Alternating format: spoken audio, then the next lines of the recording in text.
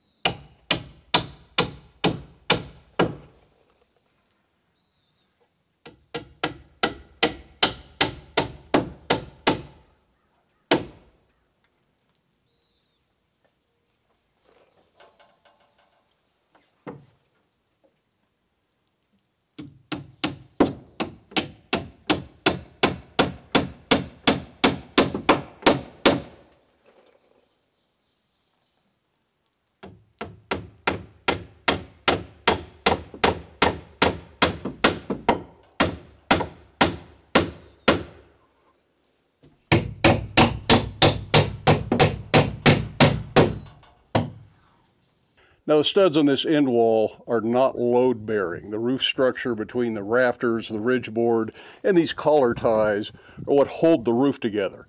And it's been framed that way for several years now. These are just to hold some sort of siding on the end so that we can close this up and make it weather tight.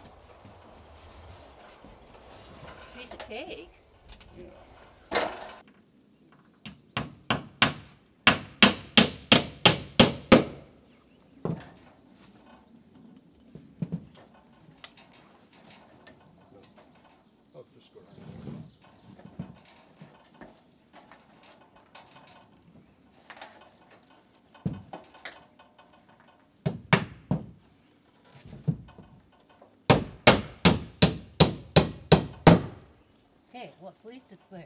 It's there.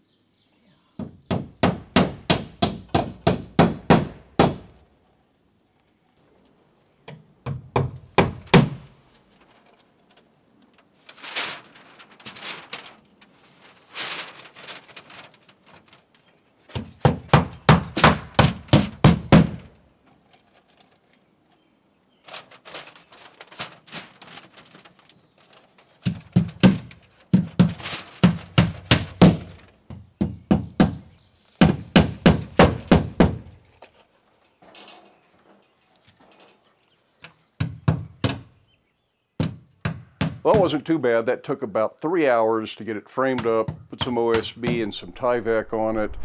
Then the weather started to look a little bit threatening, so I went ahead and moved inside. Started cleaning up in here. This place has really become disorganized and cluttered, full of leaves and pine needles and stuff that's blown in because of the whole thing being wide open. And now it looks a lot better. It's more organized. Just as much stuff, but the pine needles and the leaves have been shoveled out and things have been organized a little bit better. I can finally get to this window over here so I can cut in the window buck. And I'll explain door and window bucks probably in the next video and what those do, how I'm going to frame those in. It's a bit of a process, but in short, it's what frames in the window to keep the logs in line so the logs can't shift. And then I can get rid of all these 2x4 braces that I've got up on here. But now I'm going to move on to looking at siding that gable and what the soffit's going to look like. We think we're going to use the same material that's on the roof. That's a corrugated sheet metal finished in black. And we really like that. And it's maintenance free. At least in my lifetime, it'll be maintenance free. It should last for about 50 years. And as a gable end, it's probably going to last for 100 years. So we should never have to get up there and paint it, do anything with it. So the first thing I've got to do is cut some sheet metal, then get back up on the scaffolding and see what that looks like.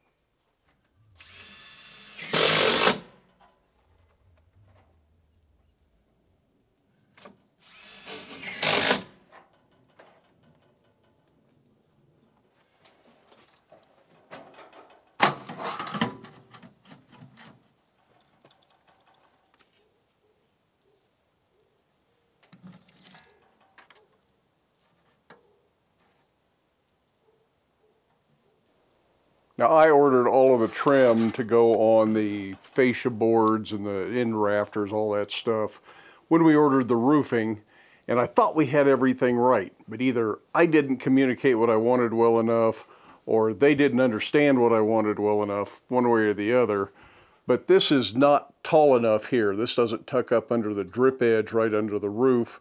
And in looking at the drawing, the measurement that I had given them was for this dimension, the from the from the flange to the top, and they made it the overall dimension. So I'm an inch short, and it, it would have fit, and it would have fit perfect if it had been that. But either they didn't understand it, or I just gave them the wrong stuff, or didn't give them enough information, which leads to them not understanding it. But in any case, I got to order all this stuff again. The stuff for the far end has the same kind of problem with it. I need some sort of a flashing where the gable in the log transition there. Unfortunately, that isn't level. Logs are, are never straight and parallel. And as you go up, one's kind of this way, the next one's kind of this way, and you kind of alternate. But as you get up there, it's leaning this way. So anything that's plumb, it has a square cut, doesn't come all the way down to where the log is. So I either need to cut everything at an angle on both ends, which is going to be complicated, or you need to put a piece of flashing in that levels that out and let the log look sort of tapered in there. And I haven't decided exactly what I'm going to do. If you do any log home building and you've dealt with a problem like this, I'd love to hear how you deal with it. But probably I'll put something in level so I can have square cuts on the bottom of all that sheet metal, and then it's going to go in nicely. I think the look is what we're going for though. So I've been making detailed drawings of all the flashing that I need, both for the gable ends, the fascia board at the ends of the rafters, that drip edge that goes underneath the sheet metal, and a trim piece to go up at the top between the soffit and the gable end. So four different pieces of trim. I've got detailed measurements on all of them, and I think I've got every single measurement listed on here, so they should understand just exactly what I'm looking for. I'll probably get back up here in a few days, start working on those door and window bucks. That'll be a whole new video, and we'll see you then.